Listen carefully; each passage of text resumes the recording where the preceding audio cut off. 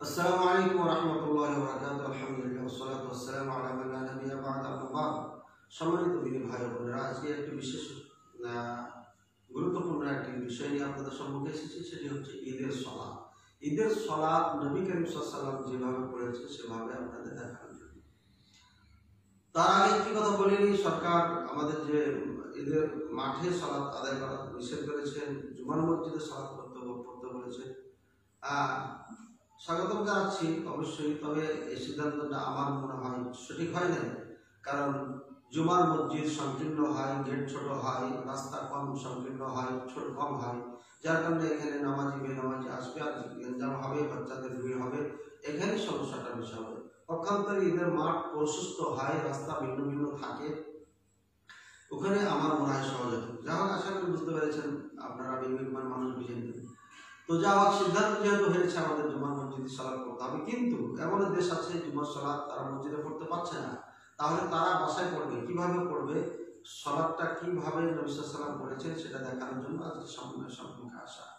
প্রথমে বলে নিই, তার প্রথম রাকাতে ছ- সাত তাকবীর, আর পরে হবে পাঁচ তাকবীর। সাত, পাঁচ, বারো তাকবীর সলাৎ হবে। এটা হচ্ছে নবী সাল্লামের সন্না রেখে যাওয়ার সন্না নবী সাল্লাম নিজে পড়েছেন তার প্রমাণ হচ্ছে, আজও মক্কা মদিনার মানুষ এভাবেই সলাৎ করছে আর এই সলাৎটা দেখে দেখে চলে আসছে। সুতরাং এখানে নিঃসন্দেহে নবী নবী নবী করিম সাল্লামের সলাৎ ছিল বারো তাকবীরের সলাৎ বারো তাকবীরের সলাৎ নবী সাল্লাম মক্কা মদিনায় রেখে গেছেন, আজও আছে, গোটা সৌদি আরবে আছে, গোটা মিডল ইস্টে আছে, সুদান আছে আমানে আছে সরি, মিশরে আছে এদিকে ইন্দোনেশিয়া মালয়েশিয়া মালদ্বীপ সমুদ্র তারপরে সিঙ্গাপুর, আপনার এসব দেশেও এগুলো এভাবে পড়া হয় বারো আলহামদুলিল্লাহ। আমরা ভারত, উপমহাদেশে বারো তারিখে দেশে পড়ে আসছি, যুগ যুগ ধরে। সাহাবাই গ্রাম রদিয়াল্লাহ তালা এই রেখে গেছেন, আর এটাই প্রমাণ করে মিডল ইস্টের আজকে সালাত। সুতরাং নিঃসন্দেহে বলতে পারি, নবী সাল্লামের সালাত এটাই ছিল, যে সালাত নবী সাল্লামের ঈদগাহ মাঠে আজও হচ্ছে ওটা আশা করি বুঝতে পেরেছেন। তো আমরা এখন দেখাবো সাত আর পাঁচ কীভাবে দিবেন। আমি সংক্ষিপ্ত খুব দেখাচ্ছি। হ্যাঁ আমরা আগে তাকবিরে তাহারিমা পড়ব, তারপরে আমরা একটু কয়েক সেকেন্ড দেরি করে আবার সাতটা তাকবির বলব এরপরে সানা পড়ব, এরপরে আমাদের বিসমিল্লাহ পড়ব। কেউ আর বলেছেন যে তাকবিরে তাহারিমার পরে সানা পড়বেন, তারপরে আপনার তাকবির দিবেন, এরপরে আমাদের বিসমিল্লাহ পড়ে সূরা ফাতিহা পড়বেন। এটা সমস্যা নাই, আগে পরে হলে সমস্যা নাই। তো যাই হোক, আমরা সংক্ষিপ্ত আকারে দেখাচ্ছি। সালাতে রসুল সাল্লামের ঈদের সালাত কীভাবে করতেন, এইভাবে আপনারা সেটা স্মরণ করবেন। একা একা বাসায় পড়ে নেবেন। একা একা যদি পড়ে নেন তা ভালো আছে। চার পাঁচজন দশজন আছেন পড়ে নেবেন। পড়ে নেওয়ার পরে খুব বানায় আপনাদের খুব দিতে হবে না। শুধু সালাদ পড়ে নেবেন, আল্লাহর কাছে কান্নাকাটি, দোয়া করবেন। এটা হচ্ছে আপনাদের জন্য। আর যদি জামাতে হয়, মুসল্লি আপনার বেশি হয়, কোনো মাঠে হয় হয়ে হয় তাহলে সেখানে সলাদ প্লাস আপনার খুদ্া হবে। আর বাড়িতে যদি দু চারজন পাঁচজন পড়ি, তাহলে এখানে খুদ্া হবে না, শুধু সালাদ হবে।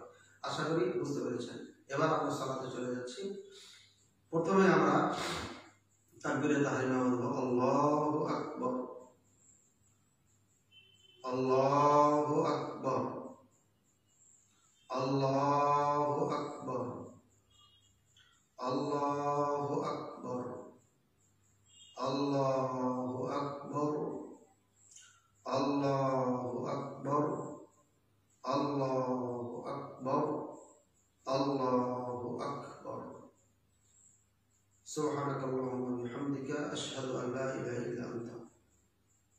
দোয়া আল্লাহ বাই বাইনি ও বাইনি যেটা ইচ্ছা সেটা করো।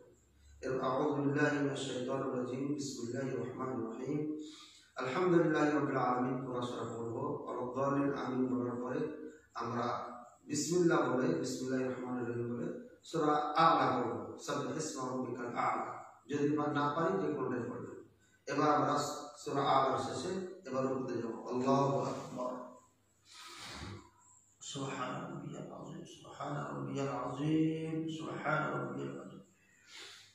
سمع الله لمن حمده الله أكبر الله أكبر اللهم اغفر لنا. الله أكبر سبحان ربي العظيم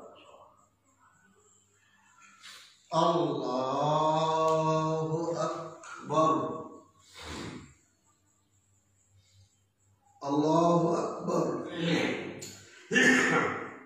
আল্লাহু আকবার আল্লাহু আকবার আল্লাহু আকবার আল্লাহু আকবার এর পাঁচ তাকবীর হয়ে গেল এবার বিসমিল্লাহির রহমানির রহিম আলহামদুলিল্লাহি রাব্বিল আলামিন আর রহমান রহিম পুরো সূরা ফাতিহা পড়ব আউদালিন আমিনের পরে বিসমিল্লাহ বলে সূরা গাশিয়া পড়ব হাল আতাকা হাদিসুল গাশিয়া এটি পড়ার পরে আবার রুকুতে চলে যাব আল্লাহু আকবার সুবহান রাব্বিয়াল আযীম কমপক্ষে তিনবার অধিক পড়বেন ইনশাআল্লাহ সামি আল্লাহ লিমান হামিদা রব্বানা লাকাল হামদ হামদান কাসীরান শেষ পর্যন্ত পড়ব আল্লাহু আকবার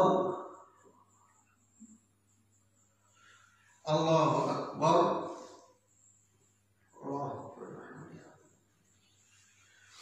আল্লাহু আকবার আল্লাহু আকবার সুবহান আল্লাহু এভাবে আমাদের এবার তাশাহুদ আত্তাহিয়াত তারপর দুরুদ ইব্রাহিম, তারপরে আপনার ইন্নী আউযু বিকা মিন আযাবি জাহান্নাম, এই দোয়াটা পড়ব, আল্লাহ পড়ব, এরপর আরও চালে পড়ব, পড়ার পরে এবার সালাম ফিরে দেবো, আসসালামু আলাইকুম রহমতুল্লাহ, আসসালামু আলাইকুম রহমতুল্লাহ, ঈদের সালাত আমাদের কমপ্লিট হয়ে গেল। আশা করি বুঝতে পেরেছেন। আল্লাহ রব্বুল আলামিন আপনাদেরকে ভালো রাখুন, সুখে রাখুন, শান্তিতে রাখুন, যে যেখানে আছে ঈদের আনন্দ এবং সবকিছু মিলে যেন আপনাদেরকে আল্লাহ আমাদেরকে সকলকে ভালো রাখে। শেষ জেনে সকলকে ঈদ শুভেচ্ছা জানিয়ে বিদায় দিচ্ছি তাকাব্বালাল্লাহু মিন্না সালিহাল আ'মাল, কুল্লু আম ওয়া আনতুম বিখাইর